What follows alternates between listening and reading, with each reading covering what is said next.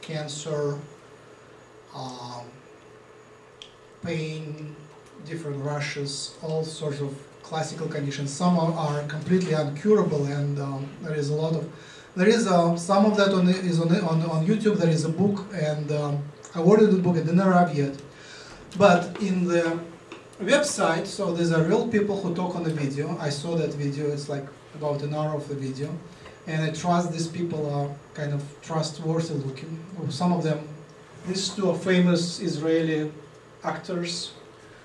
Um, then uh, there is a list of about uh, 50, 60 people with uh, names and photographs, and I emailed to this email, all of these emails, and but this like list a little outdated, so I got an answer only from one person, and I called her, and uh, I took an interview for an hour, and it sounds real to me.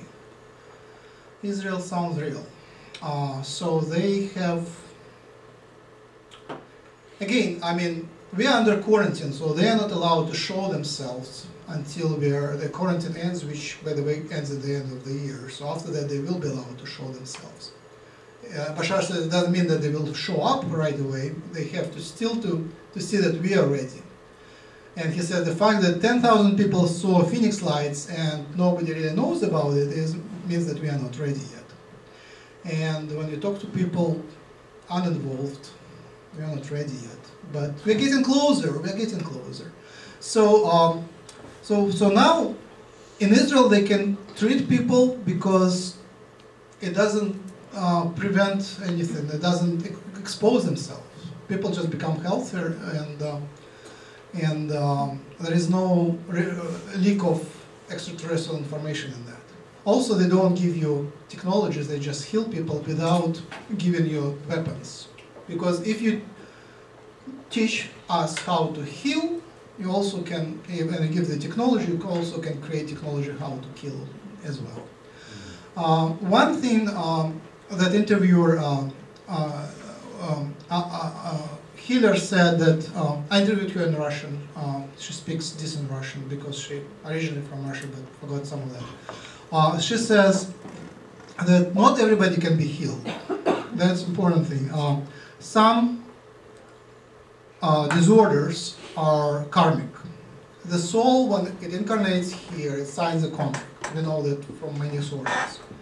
It does not necessarily sign in paper, in ink paper, but it's like uh, is guided by guides and takes takes the certain path and certain lessons. And sometimes these lessons involve disorders like being uh, incapacitated in some things, and that can uh, and the aliens cannot intervene with it. But in many cases, it's more like we just treat our bodies not as well as good, and and that's that's okay to to be healed uh, if, if it's not in the program. So, um, yeah, the Sirians, and uh, I, I was actually able to, yeah, I was actually able to ask a question. If I want to have my clinic, can I?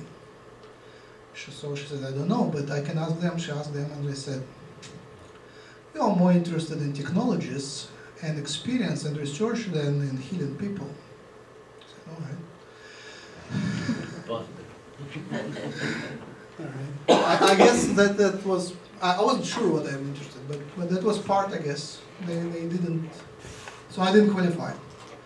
So what medical technology? So when I talk all that talk about abductions, uh, typical abduction ends up, uh, an abductee ends up on the surgical table and they do stuff. They do checkups, they do uh, insertion of uh, uh, implants, controlling implants or uh, tracking implants, and um, uh, again, implantation of, how do they do hybrids? They um,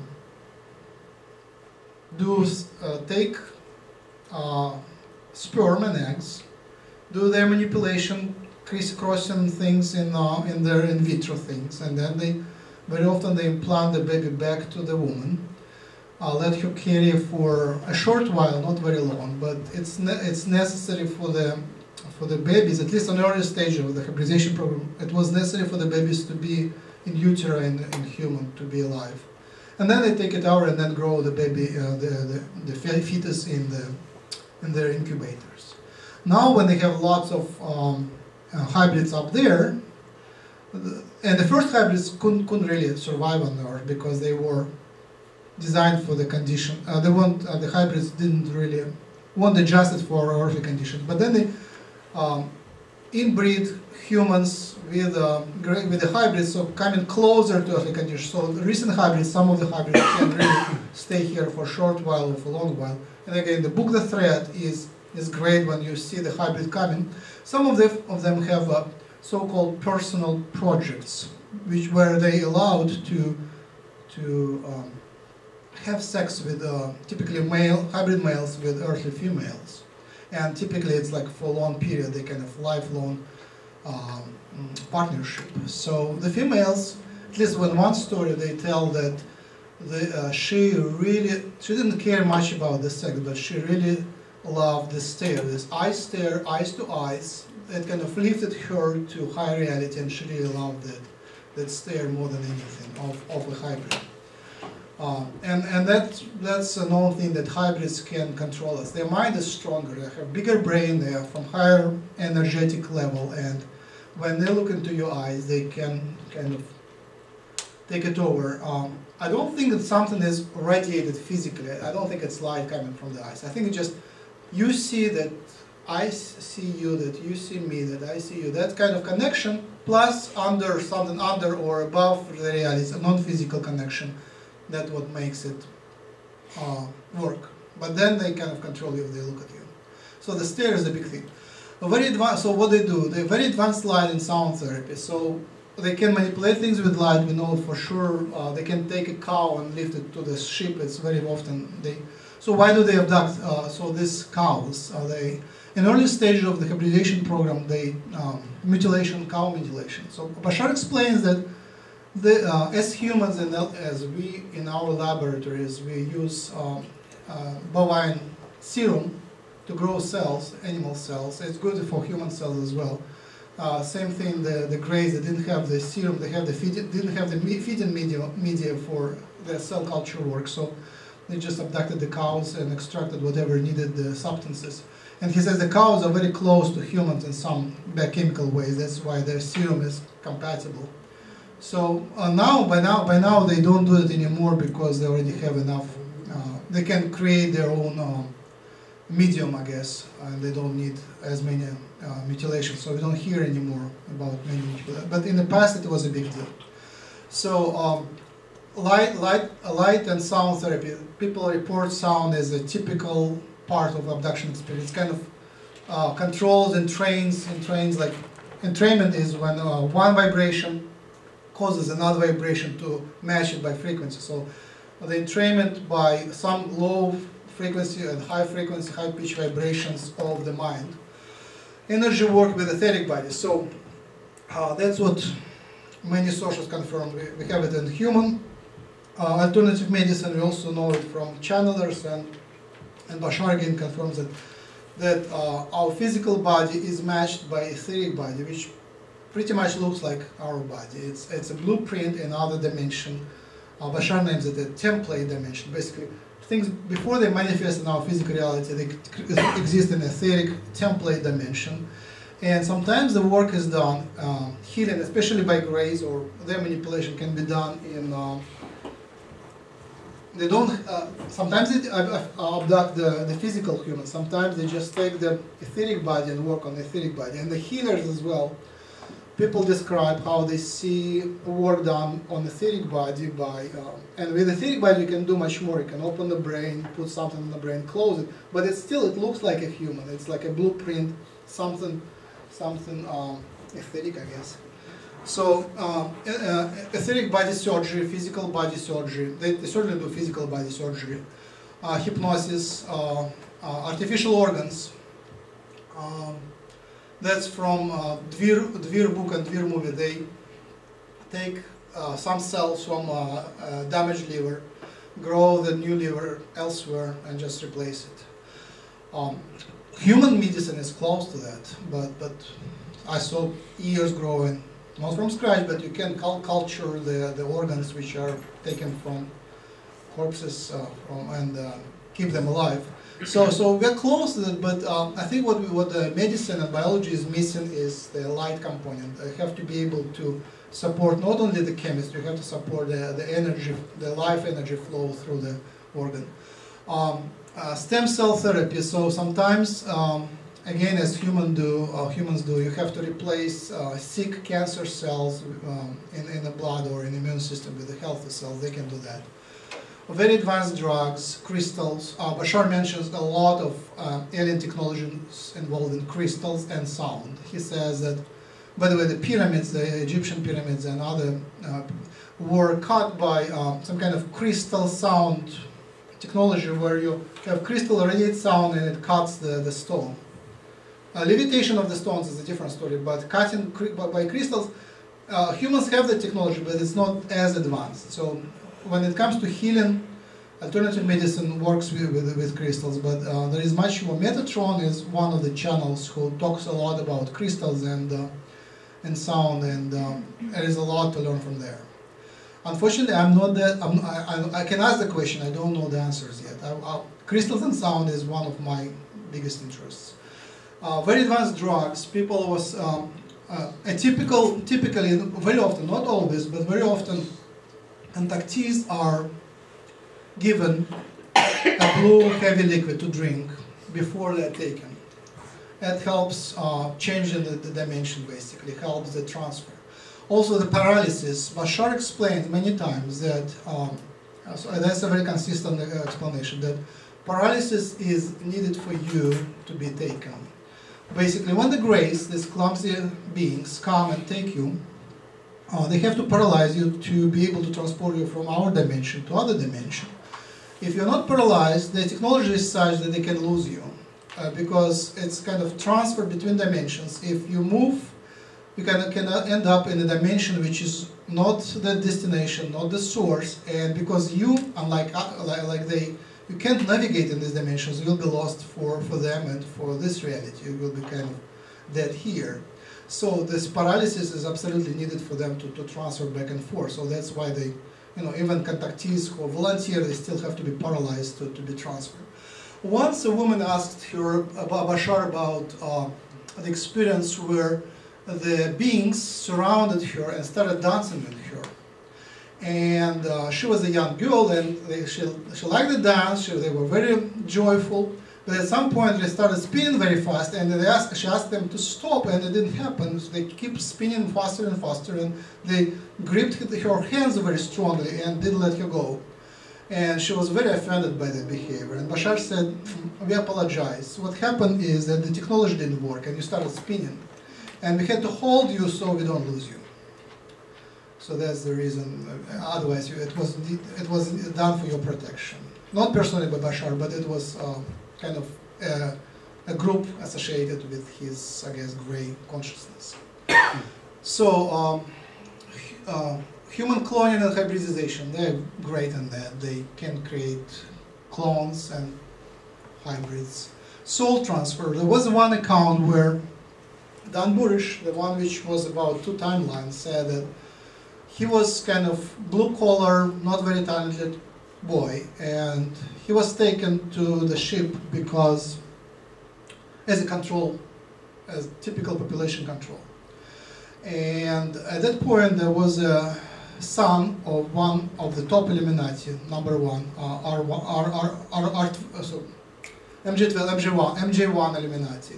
The son was taken there, and he was dying by some reason. It was a mistake, something happened, so he was dying. And they didn't do anything, they didn't find anything better than put the soul of the top Illuminati, top uh, controller of the world, human, this, uh, this his son into uh, Dan Burisch's body, so he has basically two souls together, I guess. Mm-hmm. After that, immediately he started excel in uh, sciences. He started doing all different sort of classes, and um, he's now uh, advanced, advanced in sciences. And he was very respected by Illuminati and kind of headed uh, in life very carefully and uh, that's why he was allowed, to pre be present at um, MJ, MJ12 alien meeting. Uh, uh, that sounds like a believable story to me. So soul transfer is another manipulation of reality and time. Uh, if I have time, I will uh, I can manipulate. So, but if I have time, I will, I will um, talk a little more. Uh, so uh, that's a nice kind of accomplishment. Uh, I spoke about everything except I spoke about alien medicine, not much about energy medicine. But uh, I, I, put everything in, in the beginning of this. Uh, there is more slides, but I put everything in the beginning of the thing. Um, so now let me. Um,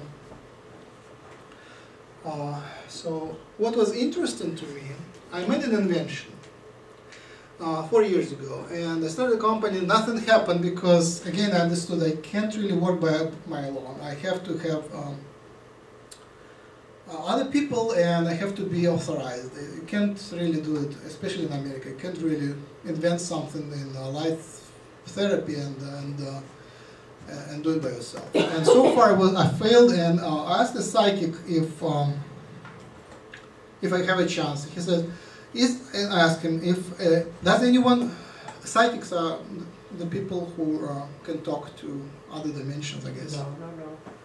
Psychics are Can people who only tell you your past, present, and future. A medium speaks with spirit and Okay.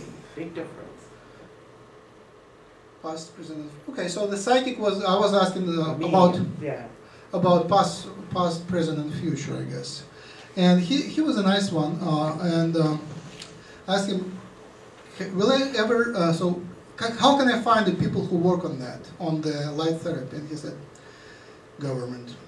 Do I have a chance to work with them? So at that point, I just kind of rolls, wrapped up.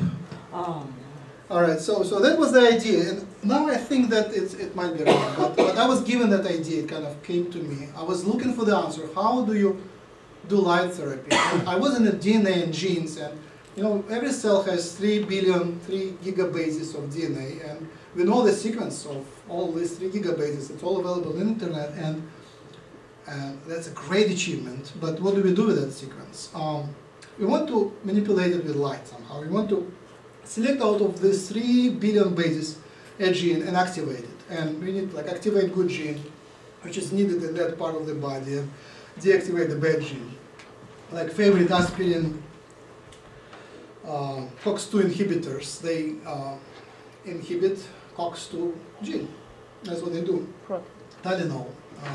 Par- uh, and um, so, so that's typical drugs activate or repress certain genes.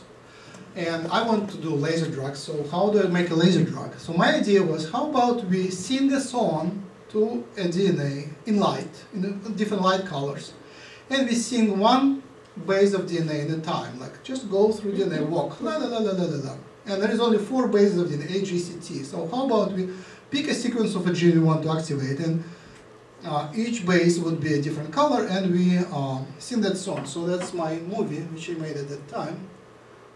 So that's how like we send C. So all C's jump. We send uh, G. All G's jump. We send something else. All T's jump. So that's just one at a time. Now, if you in the DNA, you know that the energy absorbed by one base is split to the neighbors. So when you excite one, the neighbors get something. So that was another idea, which which kind of we know that happens. And then if we send a song, uh, like light song, sequentially. Now it will start happening for real. You see, you activate this one, activate this one, and you create a wave going through the gene. And that's how you kind of shake the gene and wake it up. That's if we can act, uh, just shake up a certain gene, you either break it, which is a, a great achievement if you can break bad gene, or if you can activate it by uh, just energizing it, it would be another good achievement.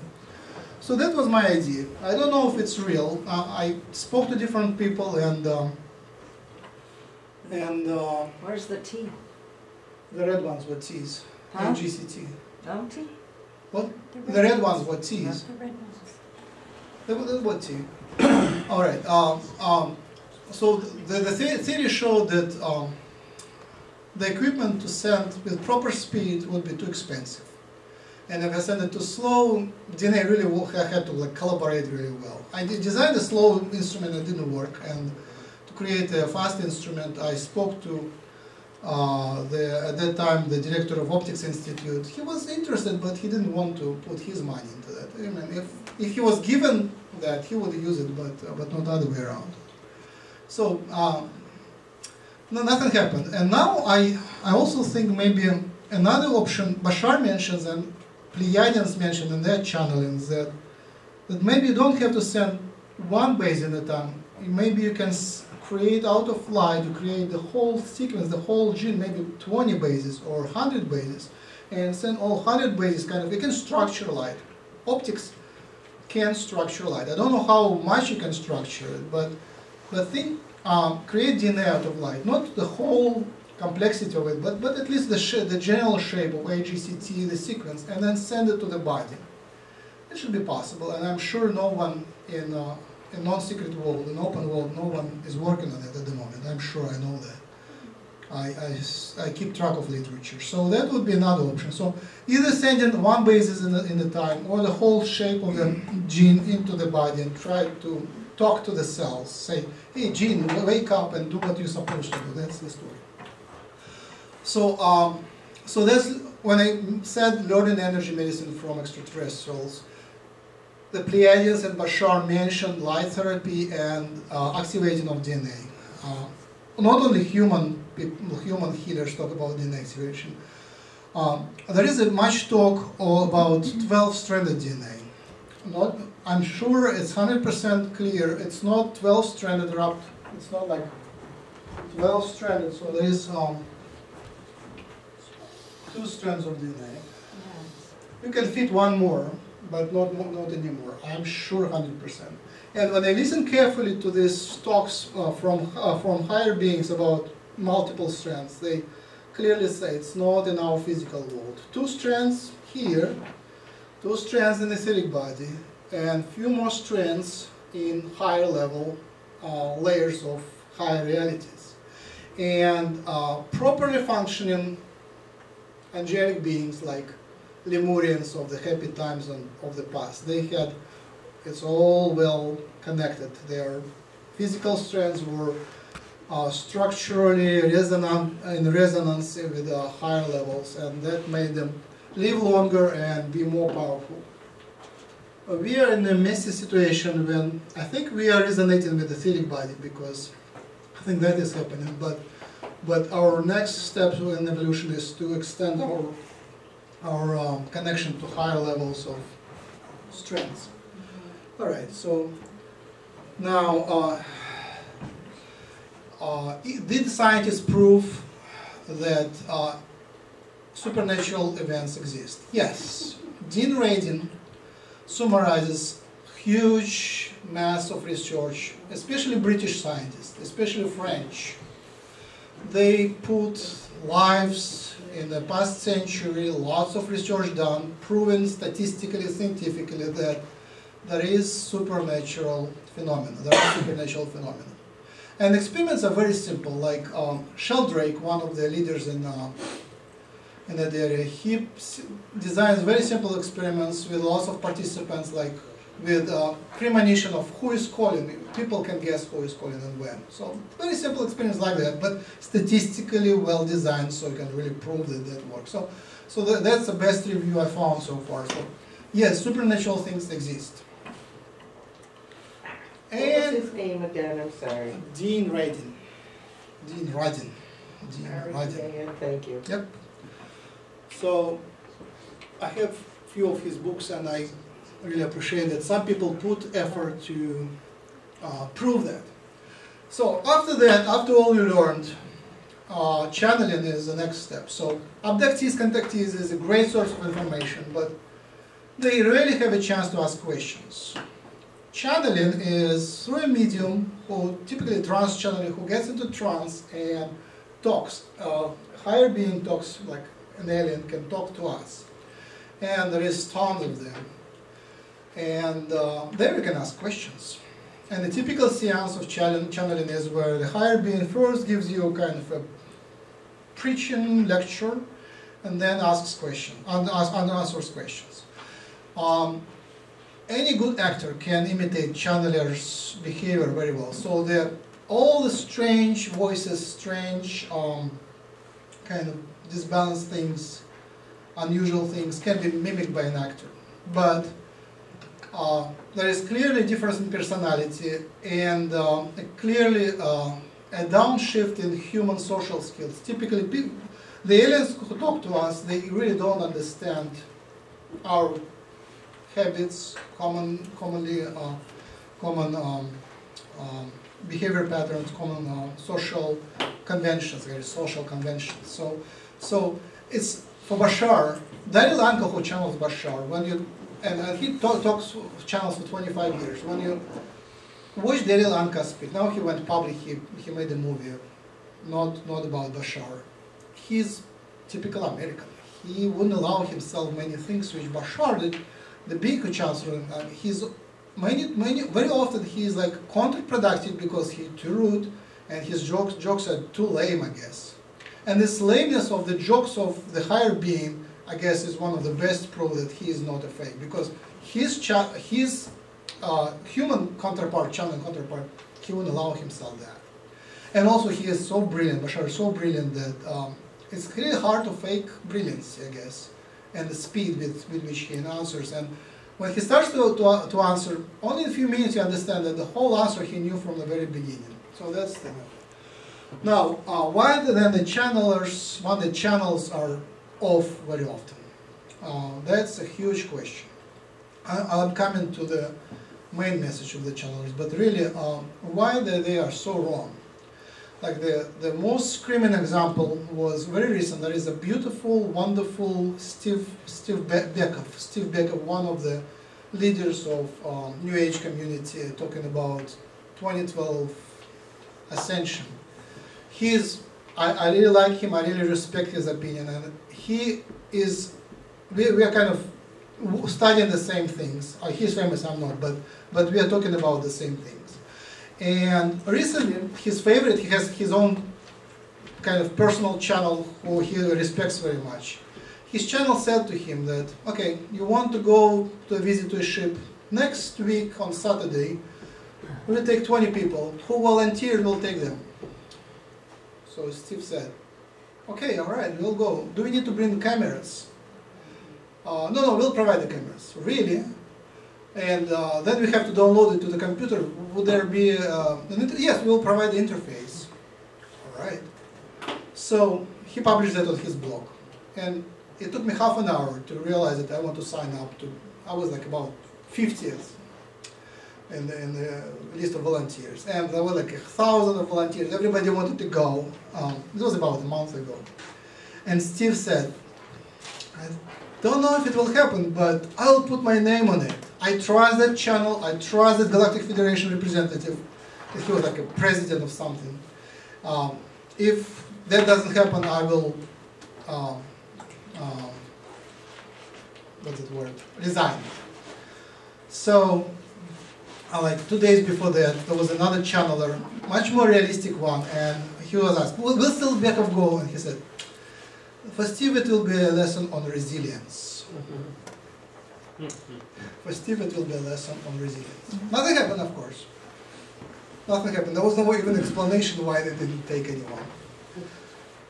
For Steve, it was a lesson for resilience. Now he's back after a month. He's again, uh, but he's much more careful about um, accepting the channel messages. So um, why they are so often wrong? Like the first prediction of three days of darkness, mass landing, uh, reform in governments was uh, a big prediction was for nine, 1993 by Nidle, Sheldan Nidle and Salusa. And nothing happened. We have to go, I'm Oh, sorry. thank you for coming, no problem. Here's the, what I was telling you about, I'll leave my All card right, here. thanks.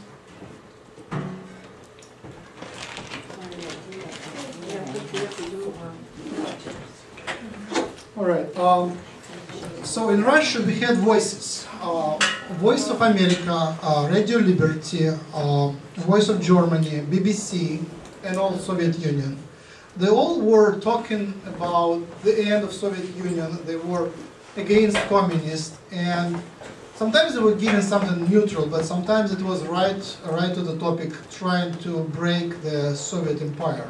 And it was lasting for the whole length of like as soon as radio was invented for the whole length until perestroika of 1989 and uh, 1990. So what I'm saying, these voices were very much like channelings. Uh, they were they had very clear agenda. The Radio Liberty was officially founded by CIA and um, the Congress of, of, of the United States. And sometimes they said think the truth which was hidden in the Soviet Union. And uh, Soviets were uh, jamming that. They had special towers, and soldiers were working on these towers. And these uh, radio towers kind of send a white noise to jam that signal from voices of, um, of foreign nations. And um, when, when the some message was jammed, it meant that it was real, it was truth. And the whole Soviet Union was founded on, on the lies and secrecy. And the main reason it fell apart was because that secrecy was broken by these voices from, from, from outside. And uh, now the whole Earth empire, the whole Earth um, um, Illuminati, I guess, control is based on secrecy.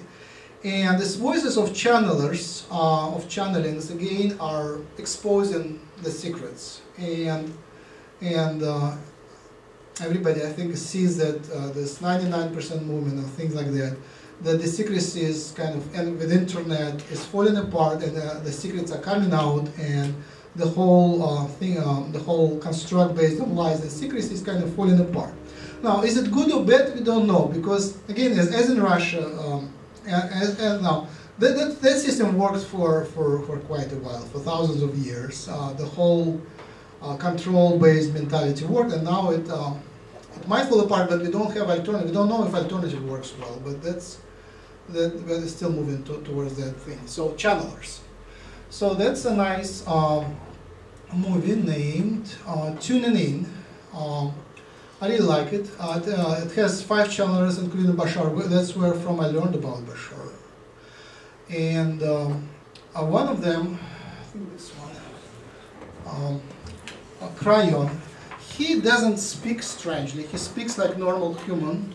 And he says that uh, that's what that's because he receives his uh, downloads before the before the presentation, and then he can can talk himself. He just knows what to say. Others are a little strange, but um, again, the, the, the, kind of speaking is not is not um, indicative of uh, truth truth uh, that it is true child. But I tend to believe many of them.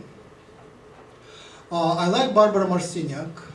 Uh, uh, the Down and it's one of the oldest um, teachers, teachers of the Pleiadians. It gives a lot of truth. Um, Patricia, Patricia Cori and Alfred Webre. Alfred Webre just recently uh, founded Exo University in uh, Vancouver, Canada, and I wrote to him, and he was kind enough to answer, and uh, I want to teach there. So, I mean, you don't have to try, uh, maybe, maybe there will be like sessions or conference or things like that, or you can teach online. So, so we're interacting about that. And Patricia Cori is a very nice channeler who, again, wrote several nice books. Uh, I like Brad Johnson, especially because he channels uh, Adronis from the same civilization as Bashar is from Essassani. So we have two representatives of the same civilization, and they talk similarly and about similar things. Now, the low one, Carla Rueckert, is one of the main channel sources, very clear and clean and well controlled. So we have lots of channelers.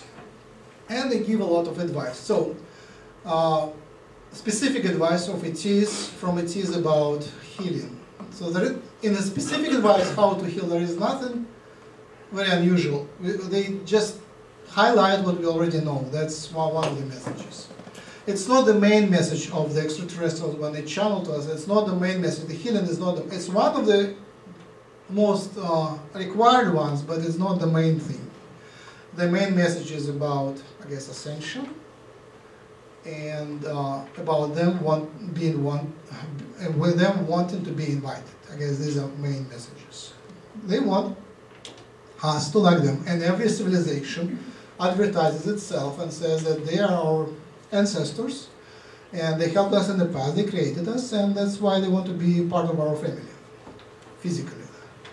Uh, now, uh, again, they are from higher density. We are third density, they are fourth density. When it comes to dimensions, it's more mess. We have third dimension, the fifth dimension, we jump over dimension. Or if we count our time, we are in the fourth dimension, three dimensions, and time, four dimension, and then sixth dimension. So that's why uh, it's less mess when you talk about density. So fourth density comes from previous book, Carla Rueckert, and that's well, well documented. So Bashar civilization graduates now from the fourth density to fifth density. And Bashar says that they and us are linked. So when they do their jump, we do our jump. So, so they go from fourth to fifth and lose physicality. They become angels, non-physical angels, and we go from third to fourth and become physical angels. We kind of retain the bodies, but gain much of the angel properties. We are barely visible to Bashar. He sees us as vibration, and he is more of etheric body and less of physical body.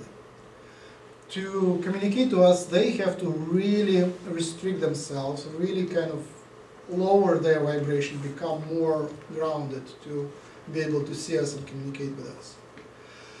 One thing which we, that many sources, including Ra Material, high strangeness, Bashar, Pleiadians, talk about chakras.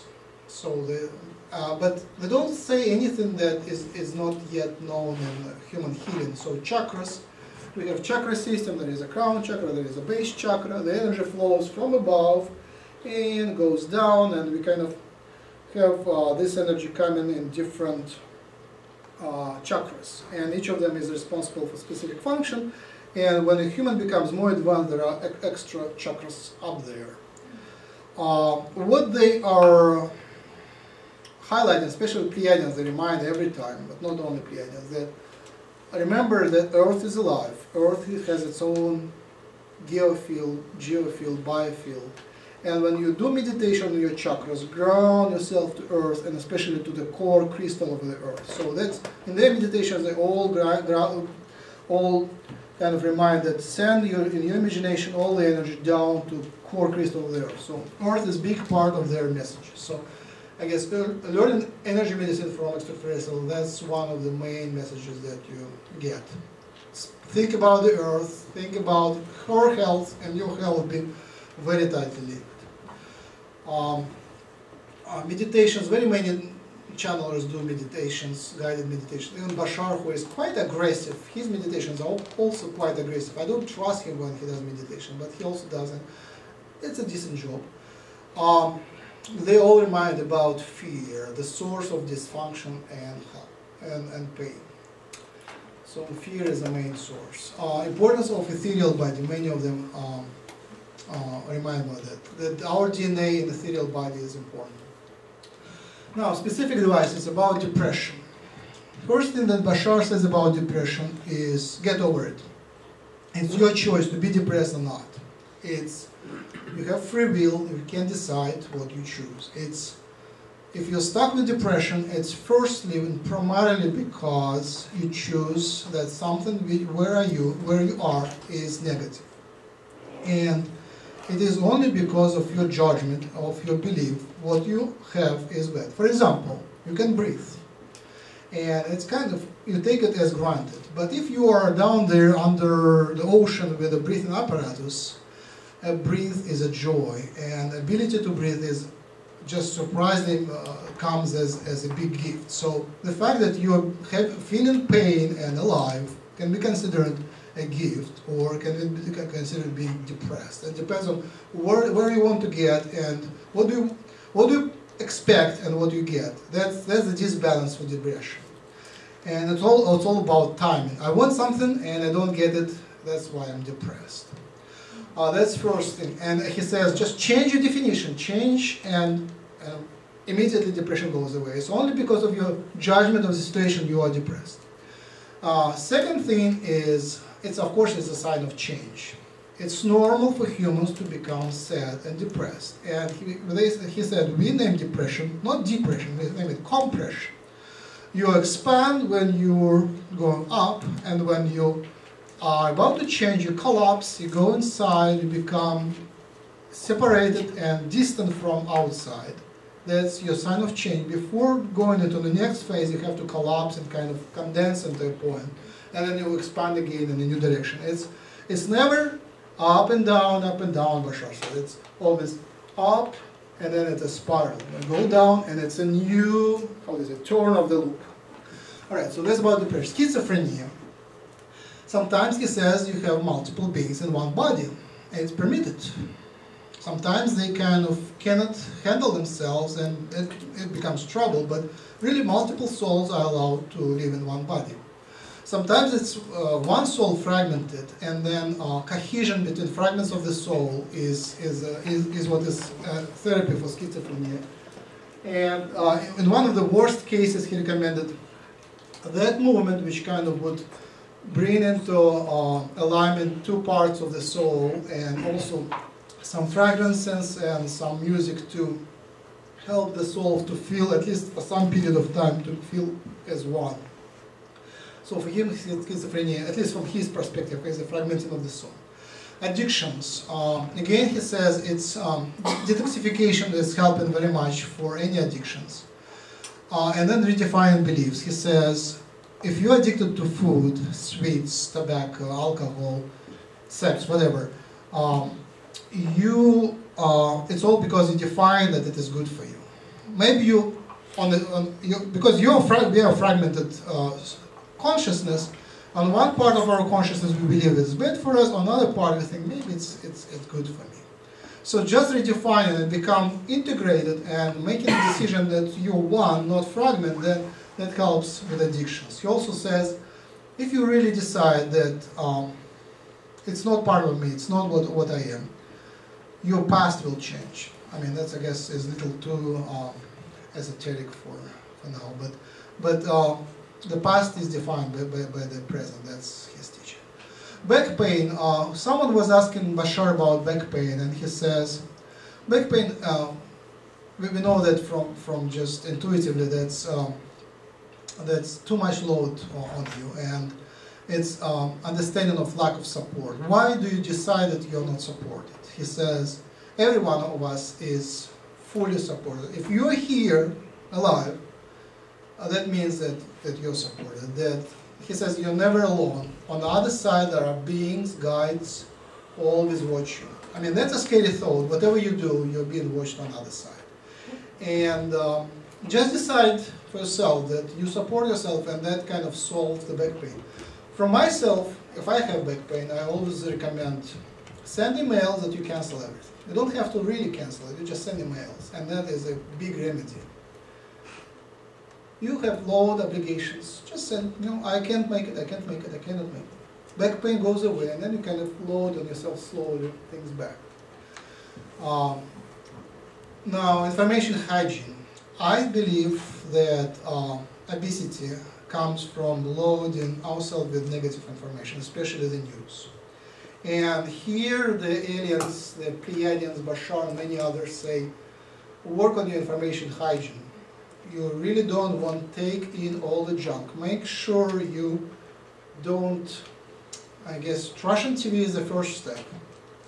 And um, just um, understand that we are bombarded with negative information which you don't have to, you don't have to take. Sometimes the work is just to process negative information or just junk information. Mm-hmm. And when you at work process junk information, that all brings obesity.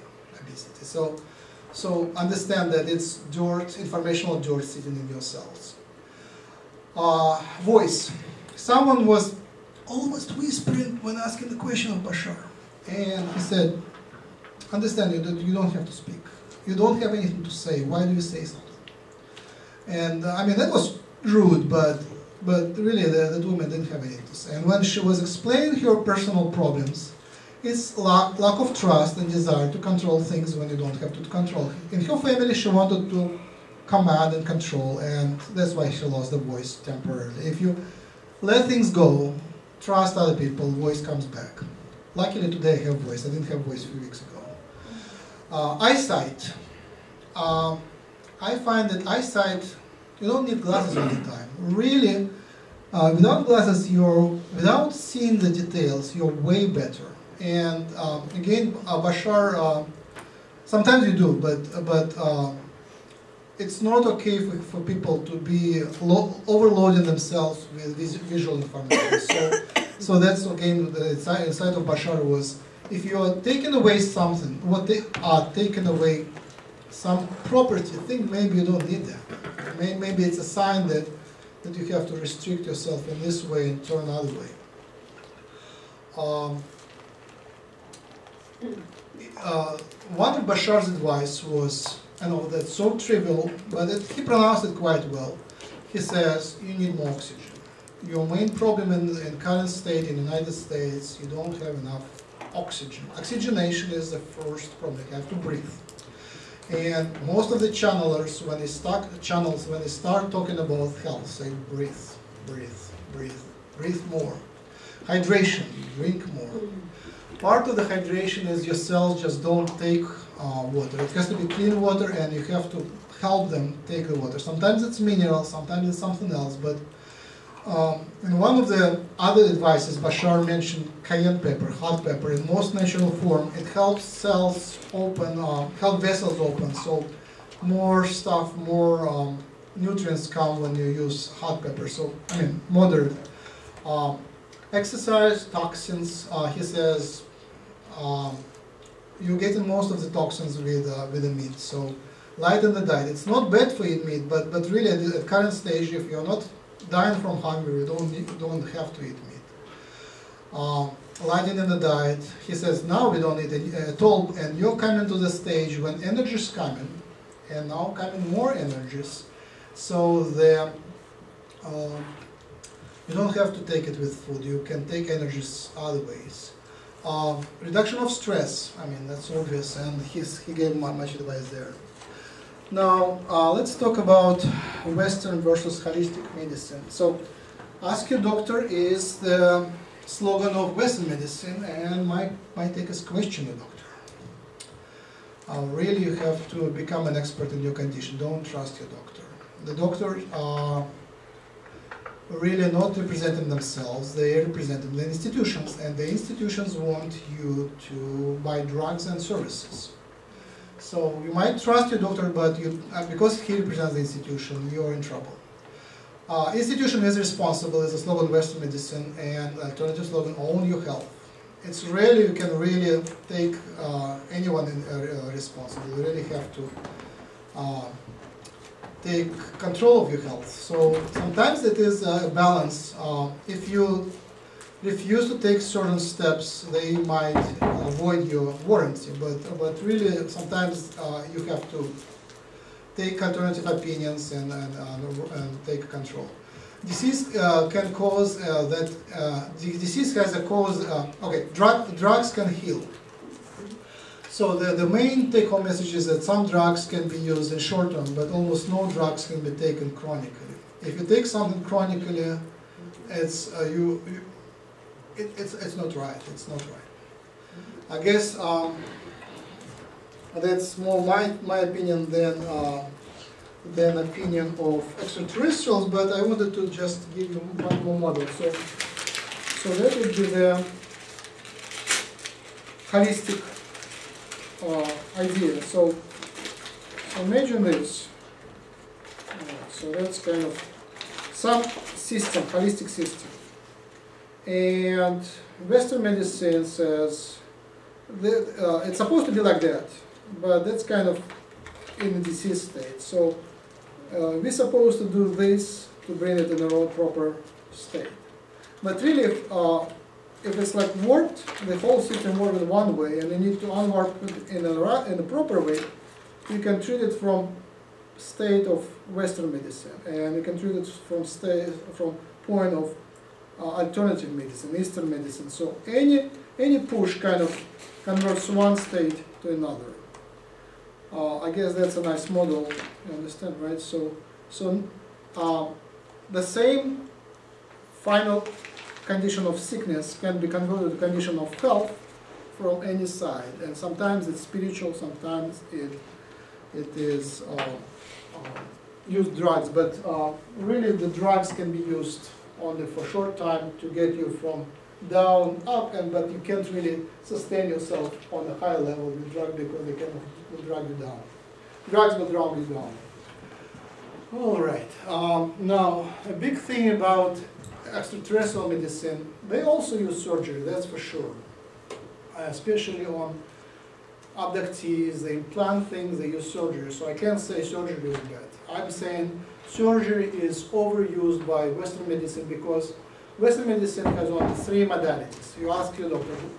Sometimes they sell you the diagnostics as a healing modality. It's not. They can find the cause, but healing ways of healing are only three: surgery, drugs, and physical therapy. And typical physical therapy is a good thing, but they rarely use it. That's all they, all they have. Alternative holistic medicine has natural remedies, and all channels, including Bashar, say natural is good. If something grows on earth, it's given to you by, by someone to heal yourself. So natural is good. Traditional Chinese medicine is an art which is thousands years old. We have some traditional medicines practitioner, practitioners in Rochester. Uh, their diagnostics is great and it's very different from Western. It's based on energy flow. They have herbs and I'm using these herbs and uh, I'm using the recipe which is thousand years old and it works great. Um, typically what they do, they take the herbs, boil them, do extracts just in water and dry them down so you get an extract of seven, ten, eight uh, herbs and uh, you take it typically daily, teaspoon, two teaspoons, so about fifty dollars of traditional Chinese remedy is enough for about one and a half months. So, so I don't know how, how much uh, many of you spend on drugs, but but uh, money-wise, it, it, it's, it, it's worth. I didn't find any good traditional Chinese herbal expert in, in Rochester. There is an Indian uh, Vedic herbal uh, traditional uh, specialist, but I didn't find any. So I'm using one from uh, Eagle Herbs from California, and it worked great. Have So, you seen Sonam? see it? Sonam Tarji? He No. does Ayurveda. Excellent. Right on Monroe Avenue. Yeah, her, yeah, that's, that's the one I was referred to, I just never saw him. All right, so traditional Chinese Vedic, Reiki, Qigong, energy works, all the same principle. Acupuncture, I, I did some of that. It hurts a little, but uh, if you're desperate, it, it works. It worked for me great. Hypnotic regression, sometimes you get the disease, disorder from past lives. Like, again, James Borg in his interview, he says, at some point, he was hanged as a thief, and since then, um, in his current life, his neck hurts. What can you do about that? Hypnotic regression solved that. And I googled in Rochester, we have about at least six practitioners advertising their hypnotic regressions. You come, they put you in a hypnotic state, record it on a CD, and then you get uh, the result. You learn about your abductions, past lives, and things like that, and they also can heal. Meditation, healing foods. I am big proponent of healing foods, and again, um, many channels uh, talk about it. Chiropractors are great. Um, sound and light therapy. We have some sound therapy. It's it's it, it's very moderate. It, it doesn't do huge miracles, but it's it's one of the ways to to change the system, change the system. Um, and laser therapy, uh, I highly recommend. Laser therapy is one the one which you could use often, but but it helps with pain relief and um, and reduction of inflammation. I already discussed the uh, extraterrestrial medicine, but uh, one thing, uh, again, uh, some things they can heal, some things are brought by karma, and some things are given to you because it's a message. They can, your uh, guides and higher beings manipulate you one way or another, and sometimes the disease is just the message to change one way or another. Sometimes you work too hard, sometimes you're afraid too, too much. So that's message. Now, that's, uh, these are the two books which I really adore um, about the field. Um, the book by Lynne McTaggart and the Sourcefield Investigations by David Wilcock. I'm two-thirds into his Sourcefield Investigations, and whatever I mentioned, the Russian uh, uh, energy researchers, he did better job than I talking to them. He has Russian side. I guess he visited Russia. There is a lot of Russians supporting him. He wrote excellent review of Russian research on bioenergy. Um, I mentioned that. I mentioned that. I wanted to do a review of instruments, but um, I am not there yet. I mentioned. Okay, now conceptual advice. Uh, so there was specific advice. The whole, yes, conceptual advice is very different. Uh, first thing is that uh, death is nothing to fear about. Death is just normal. Uh, the Western mistake, I guess, Western lie is that uh, you have to run very hard, work very hard, control things, run away from death. And that's the whole, whole chorus of child message says it's not right. You're protected. You're here, you're guided. If you step in the wrong direction, you'll be helped. And uh, that's the message that uh, people ask Bashar, uh, what, how do you deal with death? Um, he says, if someone dies in our world, we celebrate. And that's the message we get from uh, many other sources. Uh, death is a celebration. It's just a transition. It's never, never uh, by chance. You never choose to die by chance. It's, it's uh, always under control. He says, that's a message from Bashar. Every one of you, I mean, no, many of you have died many times. You just don't know. When you die by mistake, you're given a choice to return or to stay there. And um, in most cases, because you didn't finish your program, you didn't finish your contract, uh, your plan, you are advised to come back and you choose to come back. And the reality is modified in a way that you come out alive from some, some situation where you already died. And many of us have accidents one way or another when we almost died and by miracle we were saved and nothing happened, nothing bad happened. Um, an abductee, uh, here I probably should mention a couple of experience from abductees. They get more of that ability of manipulate the reality. The, one of the abductees in Rochester, she describes an accident which happened two times with witnesses. She was driving and somehow the truck was driving over her car. And first time and second time, the truck just passed through her car without touching. She was kind of jumped on the highway and she saw the dirt coming from the wheels, the truck going through the car, and it was behind, now it's in the front. And her car is all right and well, and first time she was very surprised, and second time she already used to that, and her passenger was very surprised and said, yeah, that happens, that happens to her, so that happened two times.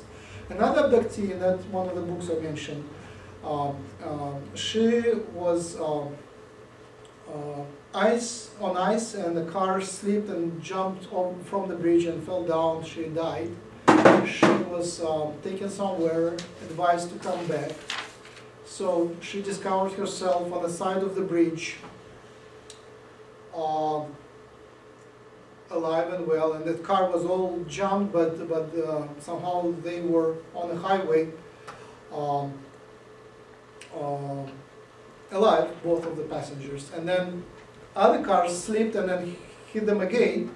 And she was falling in the, in the, from the bridge. Again, she would die, but somehow something happened. She she landed up on like just few few or don't know small distance above the the gap, and she survived.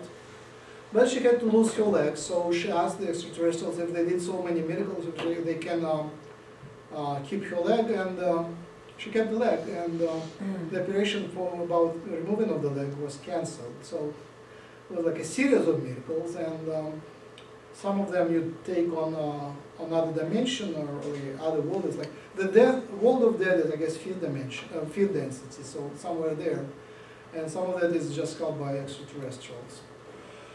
Um, partners. Um, reincarnation. So we reincarnate. That is a main message from everywhere. Uh, reincarnation is a, a, a center of Buddhism and Hinduism. Uh, Judaism uh, acknowledges reincarnation. Uh, many rabbis uh, write a lot about reincarnation, and it's part of uh, Judaism. Not well known, but Kabbalah for sure is respected. Christ, in current edition of the Bible, mentions reincarnation. Not in this word, but he mentions that this was based in a past life. That's what he mentions. Uh, this person was this person about uh, um, John the Baptist and things like that. So it was edited out of uh, the Bible in early stages, like this um, fourth, fifth century, but it was part of the Gnostics, and uh, so it was a big part of uh, culture, and it was removed. Why was it removed from Western culture? I guess to make the life more of a drama. If you know that you reincarnate, you don't have a drama. You, uh, but if you live only once, and then there is a, the purgatory, uh, the, the, the hell, then then you're more scared. So to uh, to to to make us fight for our lives, uh, uh, reincarnation was taken away. So all channelers uh, confirm the reincarnation. Uh, next source which I mentioned is past life regressions. People come to learn about their past lives, and Michael Newton wrote a couple books. One is Destiny of the Souls, and another one is something of the Souls. I forget. Um, absolutely beautiful books, and um, where he just collects information about past lives and about life between the lives. Souls know for sure when people are in regression, he is able to talk to the soul, they know for sure that there is reincarnation. And there is a lot of structure to this reincarnation. Uh, one of the things we know is that we carry our partners from one life to another. And uh, that is a strange paradox. We choose our partner between many, many people, and we think that's our choice. And when we end up in relationship, we might not even know, but people who do regressions know that that is a partner who we had as a son, sister, enemy in past lives. Uh, husband, people change sexes, but uh, the partners kind of so how does it happen? It's, it's a paradox. Somehow we are manipulated. Sometimes it's like you already make a decision, no more of that, and something changes and you get in the relationship. That things like I guess we are manipulated, but there is more than that. So somehow we make a decision to. Uh, there is, I guess, some also some some resonance. Another thing about souls, they strive for excellence. We don't understand it, but they come here to take lessons to grow spiritually. And they go from, as Michael Newton explains, from white color to purplish color. So they have grades and they go seven layers, at least in, in, in our, uh, among his patients, he had souls from first to fifth grade and the, uh, they mentioned sixth grade and seventh grade, for more purplish in color. Um, so the souls strive to progress and uh, graduate and not incarnate anymore. So that is aligned with um, Eastern teachings. Um, so why do they do that? We don't understand. Somehow for them it's given and I don't even question that. Some souls decay, some souls start high and then they kind of sin and become more degraded and then kind of recycle. But that's very, it's very rare.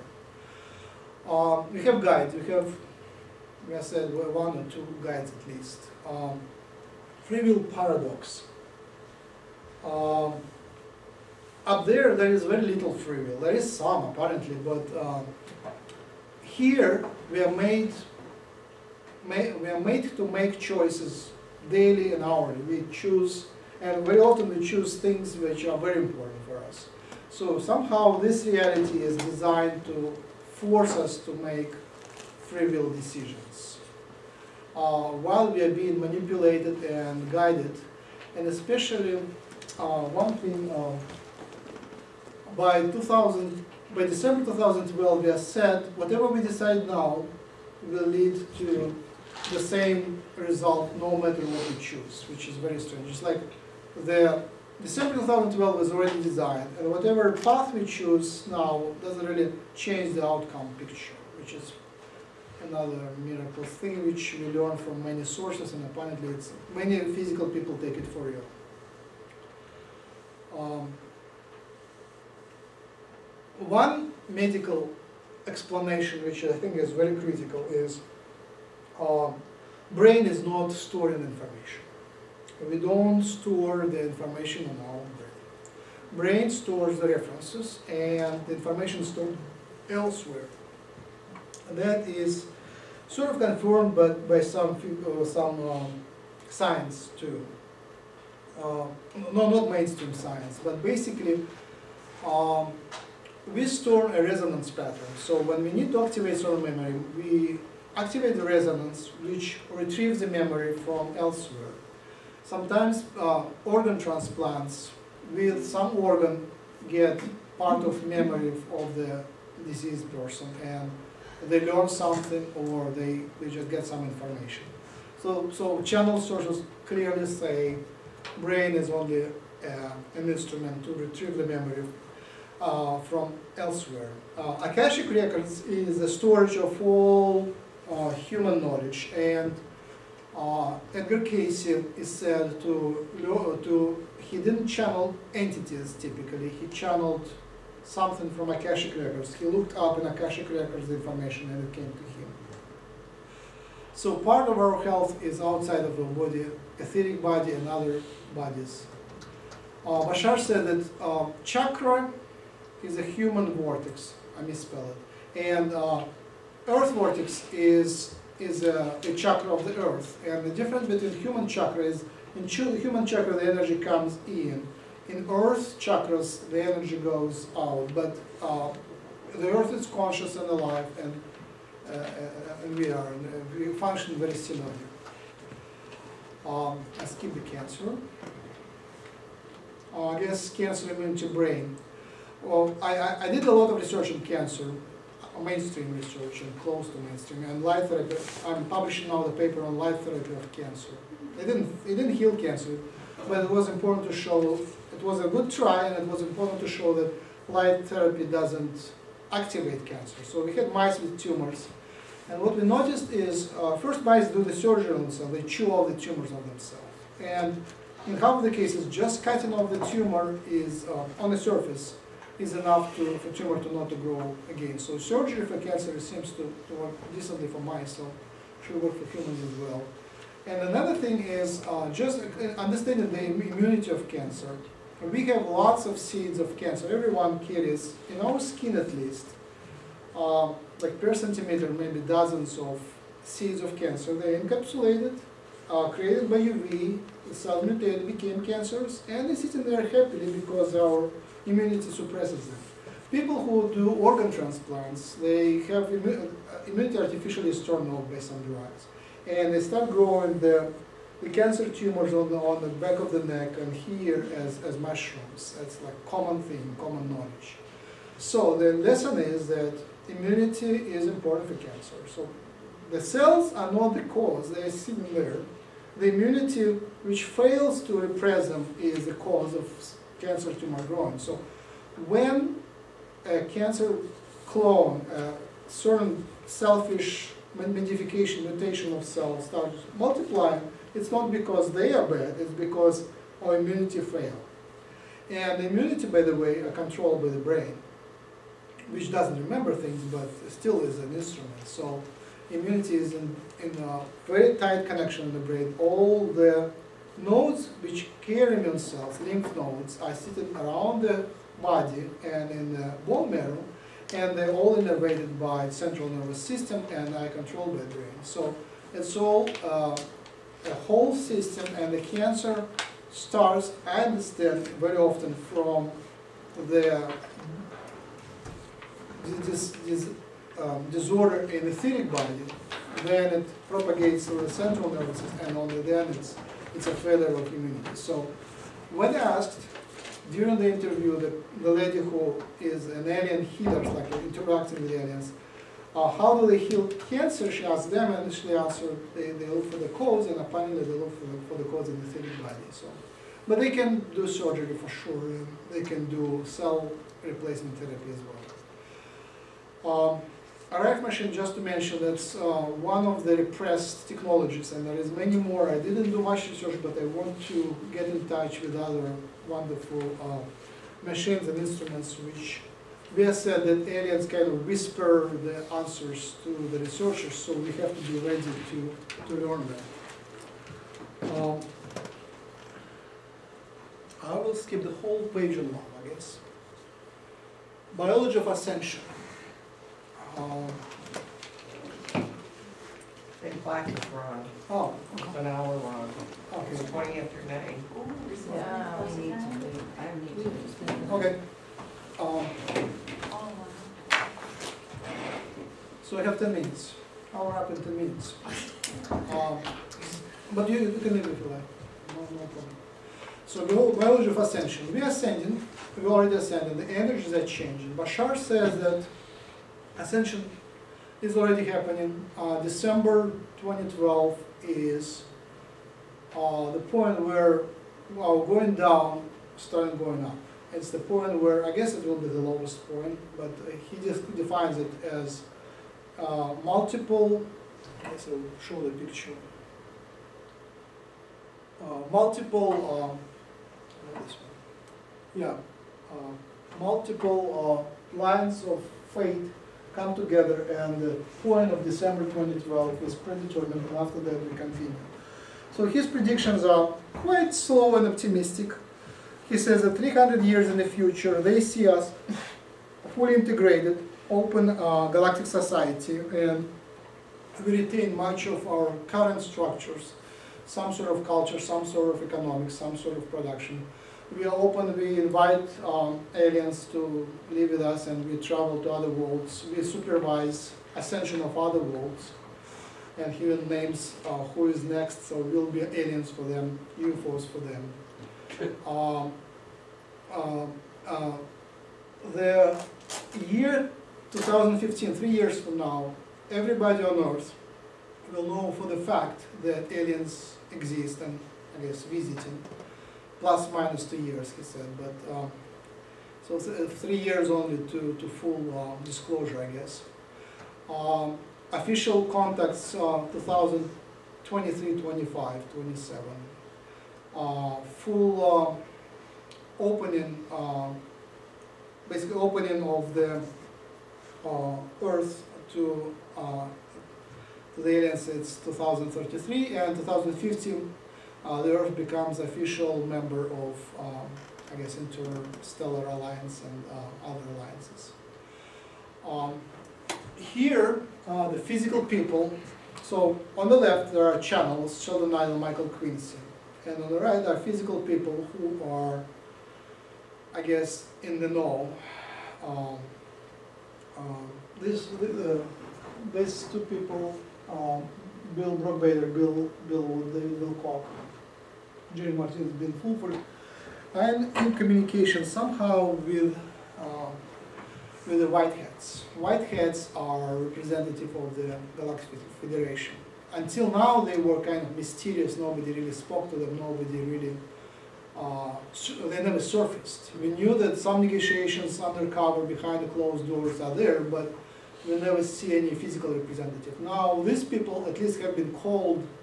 Brock Brader, Martinez, David Wilcock, have been called by representative of White Hats who are playing down here on the ground, doing dirty politics, um, basically for disclosure, uh, financial reform, and they say that most of the agreements have been made in the last half a year.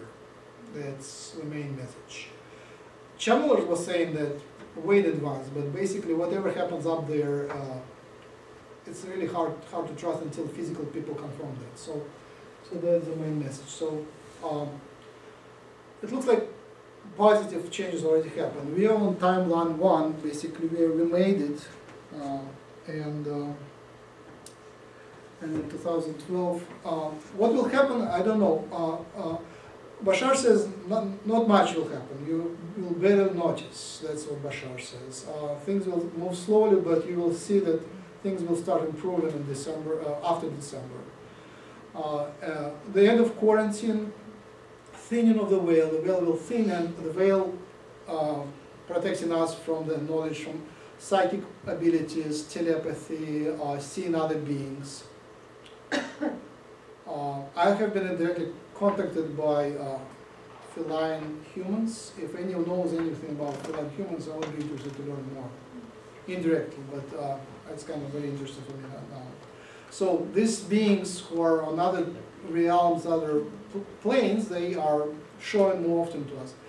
Now I did some research and um, I don't see that psychic abilities of humans on average uh, improved. Basically, there is a, a website, uh, Daily Remote View Daily, where people uh, guess an image and then next day they they show the, uh, shown an image. And uh, lately, last few months, the, the psychic abilities went down on average. But hopefully, something will change.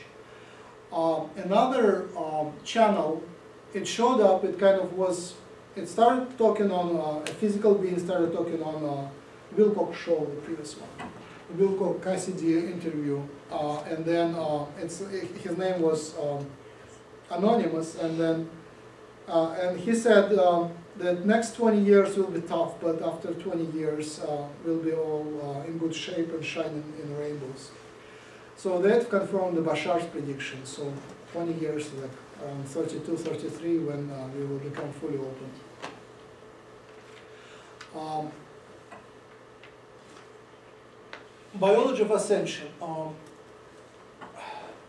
so the, the, we, we know most about the greys because they have been abducted humans. They don't necessarily represent uh, the aliens. They are mostly interested in us. They are in contact with us because they were abducted humans, but, but they are certainly from fourth density. So from uh, Bashar, who is a gray, a gray human hybrid, and from the grays, we can learn about fourth density, but they are not represented. They can skewed. Many other beings, like Pleiadian Sirians, are more like humans, and also higher density, fourth or higher. And um, um, they, they all are telepathic. They are uh, a good example how they behave in, uh, with time. So Bashar's, Bashar has a wife. Uh, again, they made a child without um, without physical sex, but he was introduced to his wife. She also he is a, an expert on, specialist on first contact, and she is an expert on first contact. And when he speaks through Darryl Anka to audience, sometimes audience invites Bashar's wife, whose name is Anime, to uh, to speak, and she kind of comes through the channel and speaks. And once she was invited, and Bashar says that uh, she can't come because uh, she is uh, now uh, in negotiations with another third density race, and uh, normally she would split and be in negotiations with a certain in negotiation and come through channel because they can split in, uh, multiple kind of copies of themselves but they would consider it impolite, so she wouldn't do that. So that's very indicative. He also he always uh, mentions that uh, for them time is different. Now, uh, symptoms of ascension, um, starting from 11, 11, 11. Um, uh, I started hearing the, the high pitched tone in my in my ears, uh, and it never stopped uh, since then. It can be some disorder, but it can also be something a sign of, uh, of, uh, of something, uh, like ascension thing. Sylvia Browne mentioned that her, her spiritual guide talks like a chipmunk. So that what I hear is like a chipmunk, I guess. Now I said, uh, I was said uh, through a psychic that no, no, it's you're, you're looking in the wrong place. Uh, that they are talking to us in a very low vibration. It's like infrasound which you can hear. And that corresponds to what Bashar says that, um, you know, we're saying higher frequency, but, but really, are they really higher frequency or lower frequency? Because he said that we are seeing the, the reality with certain frame rate, uh, billions of frames per second. It's our reality is not continuous, it's uh, uh, layers per second, billions of layers per second. And they are skipping, skipping frames, so their frequency may be, may be lower than ours. So maybe higher level beings may be actually lower level beings in terms of frequencies. When I say they're higher frequency, maybe they're kind of making themselves too pretty. So uh, ascension, um, they say that our genome and we are designed, we are ready for ascension. And below, in biology, we know that it can't really be that simple, because if, if we have the facilities for telepathy and for telekinesis and things like that, uh, and we are not using them, then we'll be decaying. Uh, in evolution, things decay. So how is it possible that we are all capable of ascending, capable of tele, uh, telepathy and um, kinesis and premonition, but we are not using that? And uh, my take is that we probably are using that in sleep. So there is, we are practicing so it doesn't die, that ability. But when we sleep, we use that, that capacity to be on higher levels.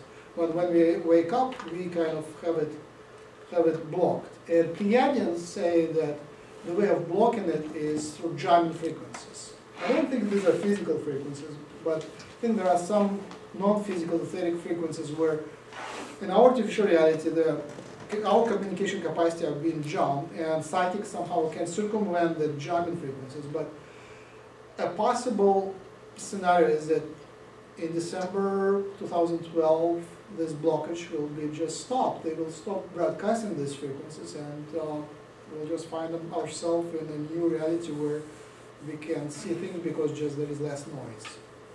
Maybe they will, I mean, if I was, they are smart, they probably will do it stepwise. Bashar says that they sit now above the earth, cloaked, and his ship is broadcasting Schumann frequencies, which is 7.5 hertz, uh, electromagnetic physical waves, and they kind of keeping the earth on pacemaker, slow in the ascension of the earth, so we can catch up. And against Allendale, uh, uh, uh, another anonymous speaking to Wilcock, said exactly that, that we have enough time, uh, the ascension will take as long as needed, there are divine orders and deadlines which can be extended as needed, uh, so we can uh, make it smooth. So that's, I guess, the main message, and I'm done. Thank you. Thank you. A lot of info there. You- And this is on your website? On Yes. The PowerPoint? Oh, yeah, there's so much there. You know, the liquid you mentioned they talk about, Okay? that liquid you mentioned, Uh-huh. it's called grad. Right, yeah, I heard, uh, yeah, maybe some, yeah, maybe he says, yeah.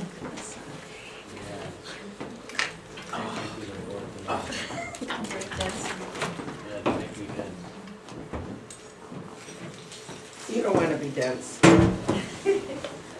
Fourth density, maybe. Well, dolphins and whales are. fourth Yes. I wanted to mention that. Kidding him about being, uh, dense.